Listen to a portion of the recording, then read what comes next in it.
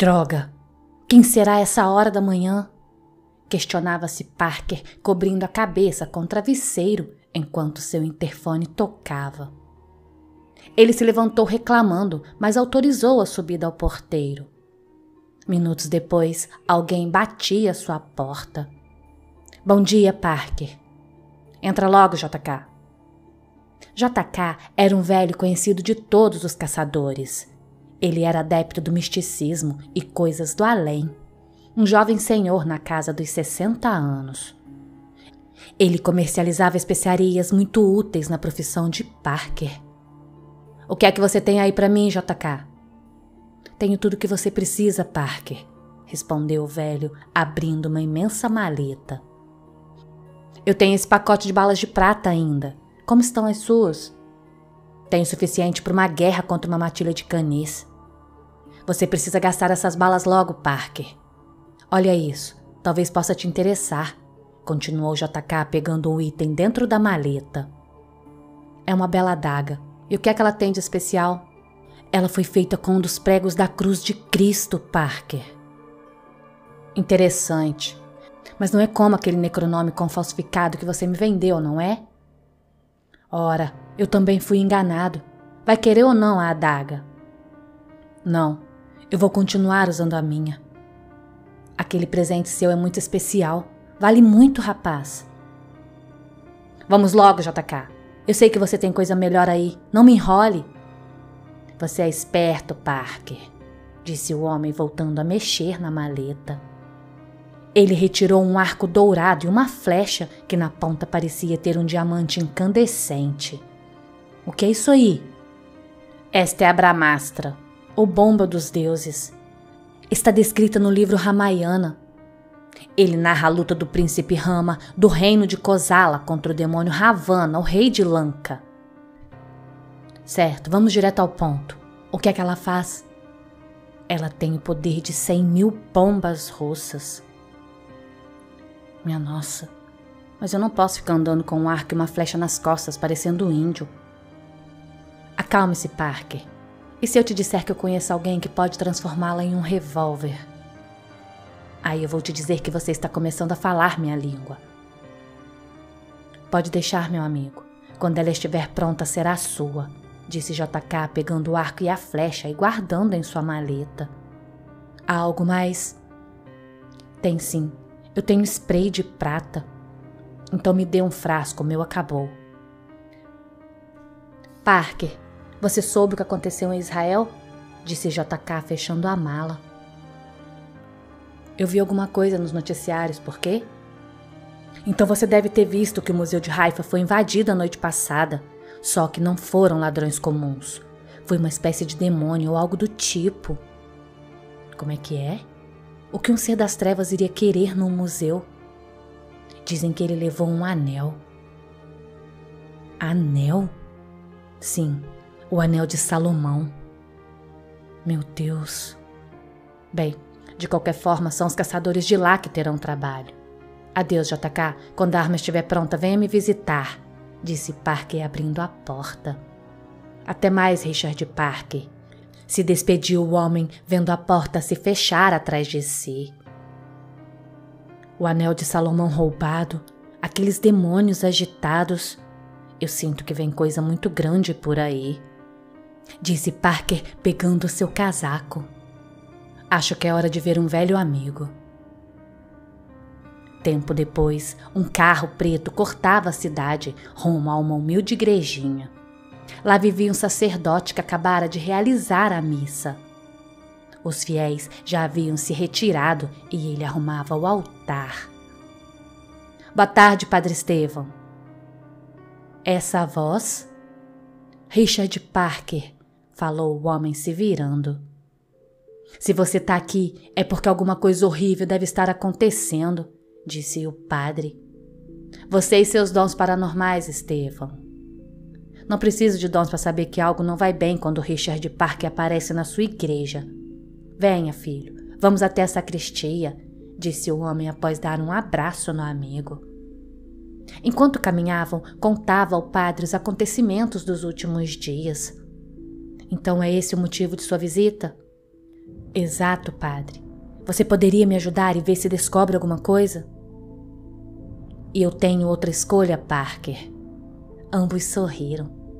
Bom, já que está aqui, fique para o jantar e vamos colocar a conversa em dia. Você deve ter boas histórias desde o nosso último encontro. Nada demais, padre. Só algumas gárgulas e demônios, o de sempre. Sou todo ouvidos. A tarde passou rápido, trazendo a noite. Parker e Estevam relembravam seus tempos de treinamento. Parker contava suas novas experiências com as criaturas da noite e nem viram o tempo passar. Obrigado pelo jantar, padre, pela companhia. Você não vai pegar a rodovia esta hora da noite. Eu já pedi uma das freiras preparar o quarto de hóspedes para você. Eu não aceito não como resposta. Parker concordou e ambos foram para os seus aposentos. Em um hospital, Samantha se despedia dos amigos. Ela terminara seu plantão e se dirigia para o estacionamento onde pegaria o carro. Samantha havia se formado em enfermagem há pouco mais de cinco meses e trabalhava na UTI. O caminho até seu carro, especialmente naquela noite, parecia longo. Ela observava sua volta com um sentimento estranho. Um incômodo lhe corria o corpo e um aperto oprimia seu coração. Samantha acelerou o passo, chegando ao carro. Suas mãos tremiam e ela não conseguia abrir a porta do veículo. Droga, o que está acontecendo comigo? dizia ela sozinha até que finalmente abriu a porta. Logo que entrou, o alívio tomou conta de seu corpo. Samantha suspirou fundo, com os olhos fechados, recostando sua cabeça no banco. Um minuto depois, ela abriu os olhos e o que viu a fez gritar. Tentou dar partida e, por ironia do destino, o carro não ligava. Ali, à frente dela, havia um par de olhos vermelhos. Liga, liga! Ela pedia desesperada até que conseguiu dar partida, porém o carro não saiu daquele local. No aeroporto, um passageiro ilustre desembarcava vindo do Oriente Médio. Ele trazia em sua bagagem um objeto um tanto especial. No estacionamento, uma limusine o esperava. Boa noite, mestre. Como foi a viagem? perguntou o fiel mordomo um tanto quanto cansativa, mas proveitosa. O que temos para hoje? Ele te espera na cripta. Ótimo, vamos até lá. Segundos depois, o carro arrancava rumo ao cemitério onde Samantha já se encontrava amarrado na pedra do sacrifício. A garota, aos poucos, foi recobrando a consciência enquanto seus olhos se acostumavam com a escuridão. Ela tentou se levantar, porém suas mãos e pés estavam presas para seu desespero. Ela se virou para o lado e o par de olhos lhe observava das sombras. Ela então deixou o grito que estava preso na garganta ecoar ressoando nas paredes da cripta. A garota gritava por socorro, porém apenas o silêncio lhe respondia. Foi então que ela ouviu um ranger de dobradiças e por uma escada um homem desceu. Este trajava uma túnica negra e trazia em suas mãos uma adaga. Um calafrio correu todo o corpo de Samantha, que começou a gritar ainda mais desesperada. O homem se aproximou e acariciou os cabelos da mulher. Depois se abaixou. Disse a ela algumas palavras no ouvido e a colocou em transe. Dos olhos dela emanaram uma luz que iluminou a cripta. Nas suas costas que estavam feridas, começaram a escorrer um sangue que caíam dentro de um odre abaixo da pedra do sacrifício. O homem observava cada ferida se abrir, até chegar ao total de 117 marcas, como se tivesse feitas por uma zorraque. Conforme seu sangue se esvaía, a luz que tomava conta da cripta se apagava até que tudo voltou a ser uma completa escuridão. Seu algoz ergueu a adaga acima do peito de Samantha e desferiu um golpe certeiro em seu coração. A jovem deu o último suspiro. Ele se abaixou e retirou o odre com sangue dela. Virou-se então para o par de olhos vermelhos que observava tudo. Com um aceno de cabeça, o liberou para devorar o que restava da enfermeira. Vejo que tudo está caminhando conforme o plano. O homem ouviu uma voz dizer assim que fechou a porta da cripta. Você conseguiu o que pedi? Respondeu ele, vendo quem lhe questionava. Sim, está no meu bolso, você quer ver? Ouviu a resposta num tom de voz insolente. Ainda não posso tocá-lo, porém logo terei sangue suficiente para a primeira parte do ritual. Até lá, guarde-o bem, pois se o perder sofrerá as consequências. Respondeu, mudando a cor de seus olhos para um branco repleto de ira.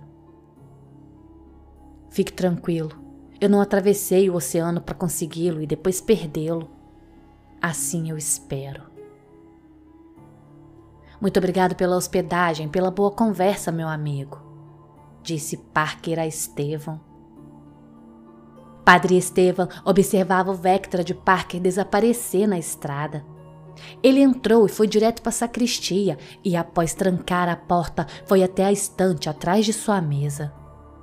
Dali, ele retirou o livro que escondia uma alavanca. Ao puxar a porta, a estante foi movida para frente, dando passagem para uma sala secreta repleta de armas de caça. Os livros em seu centro desenhavam uma imensa estrela de Davi. Esse Richard só me dá trabalho, pensava o reverendo se colocando no centro da estrela. Logo depois, ele fechou os olhos e começou a recitar uma oração em enoquiano. Quando abriu seus olhos, eles brilhavam num intenso azul. Pode me trazer um filé de tilápia, arroz e pirão, por favor e também o refrigerante. Claro, Richard, só um minuto. O caso da enfermeira desaparecida intriga as autoridades, dizia um repórter no telejornal chamando a atenção de Richard que acabara de pedir o almoço. O carro dela foi encontrado no estacionamento com para-brisa quebrado e nenhum vestígio da jovem. Continuava o repórter. Enfermeira desaparecida, pensou Parker, saboreando seu almoço sem tirar os olhos da TV. Ele buscava alguma pista nas imagens para ver se aquele era um caso para ele. Algo mais, Richard? questionou Vanessa, garçonete, ao receber a conta.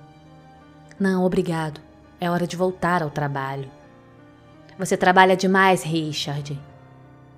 É verdade, você tem razão. Vou tirar a noite de folga e dar um pulo na boate. Quem sabe então a gente não se encontra por lá, respondeu Vanessa, brilhando os olhos em amarelo. O dia corria. Na igreja, Padre Estevam continuava procurando algum fato sobrenatural que pudesse ajudar Parker a elucidar o que aquele demônio lhe tinha dito. A noite caiu e quando o relógio bateu 22 horas, o carro preto de Richard parou na porta da boate Mysterium. Ela era o que chamavam de zona neutra, o ponto de encontro de todas as tribos. Um ser humano comum ali seria um prato cheio para vampiros, lobisomens, metamorfos, demônios ou qualquer outro ser que se alimente de sangue e carne humana. Mas haviam regras impostas por um anfitrião, pois imaginem um caçador feito Richard andando naqueles corredores. Ora, ora, se não é o famoso Richard Parker, Há quanto tempo, Lúcius? E como vai sua matilha? É muita coragem sua aparecer por aqui após vocês e seus amigos matarem meus irmãos. É muito simples, Lúcius, eu já te falei. Basta que eles não caçem humanos, que nós não os caçamos. É nossa regra de convivência. Até seres sem raciocínio como você é capaz de entender. Mas se estiver com saudades, eu posso providenciar uma passagem só de ida para onde eles estão. Um dia eu vou arrancar esse sorriso da sua cara, Richard Parker. Ah, você não vai não. Eu gosto muito dele onde está. Calma, calma, rapazes. Lembre-se das regras aqui. Não querem deixar o anfitrião nervoso, não é mesmo? Coloque uma coleira nesse seu cachorrinho, Valério, senão você vai precisar arrumar outro animal de estimação. Não abuse da sorte, Parker, respondeu Valério. Dobre sua língua. Senhor Parker, O anfitrião irá recebê-lo, disse o garçom se aproximando de todos. Parker foi levado pelos corredores da boate, onde presenciava todas as formas de seres. Em uma de suas noites de trabalho, eles seriam mandados para além, porém ali dentro eles estavam fora de seu alcance. Espere aqui, por favor, disse o garçom entrando no escritório do anfitrião. Porém, antes que ele fechasse a porta, uma coisa chamou a atenção no interior. Aquilo eram asas? Mas de quem? perguntava Richard curioso. Movido pela curiosidade, Richard Parker fechou os olhos e recitou as palavras em enoquiano. Quando abriu, descobriu quem falava com o anfitrião. Azrael. Um barulho de asas bateram e a porta se abriu. Aqui devemos o prazer de sua ilustre visita, Parker. Disse um homem que aparentava não ter mais que 30 anos. Porém, o que diziam sobre o anfitrião era que tinha mais de mil. A bebida, é claro, respondeu Parker. Não minta para mim. Tudo bem, a curiosidade também me trouxe. A propósito, que um anjo da morte queria aqui com você? Parker, Parker, essa sua curiosidade ainda vai matá-lo. Era 23 e 30 da noite e Marlon acabara de terminar seu trabalho. Ele dirigia-se para casa, pois morava próximo ao trabalho, porém naquela noite ele estava com um sentimento estranho. Ele apressou seus passos, porém aquela sensação de ser perseguido aumentava. Olhou para todos os lados quando, num ponto da escuridão, haviam dois olhos vermelhos. O desespero tomou conta de seu corpo e ele começou a correr pelas ruas sem olhar para trás. O caminho para sua casa parecia interminável. Um galope furioso às suas costas fez com que um calafrio corresse pelo seu corpo. O jovem designer sentia como se a voz da morte lhe chamasse quando uma limusine cortou sua frente. Entre, rápido! disse alguém abrindo a porta traseira e lhe estendendo a mão.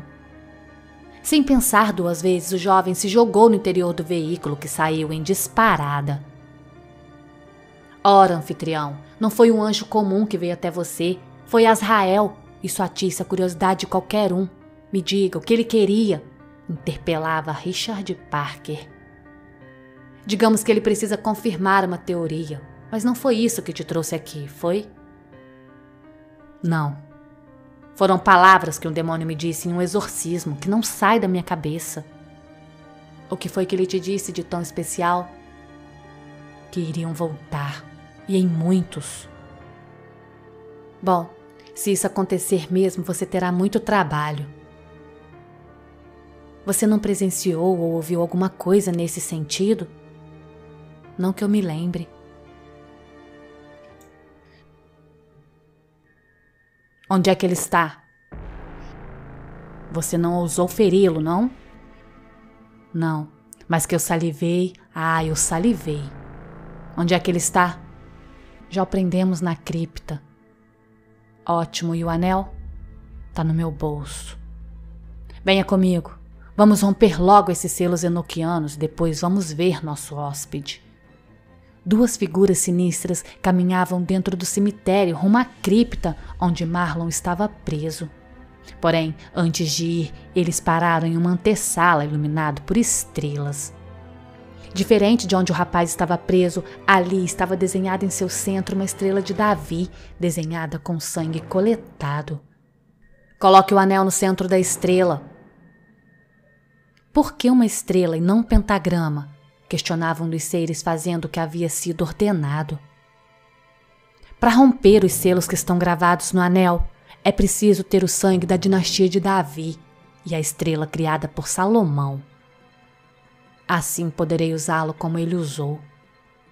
Então é só colocar esse anel no centro e pronto? Ainda não.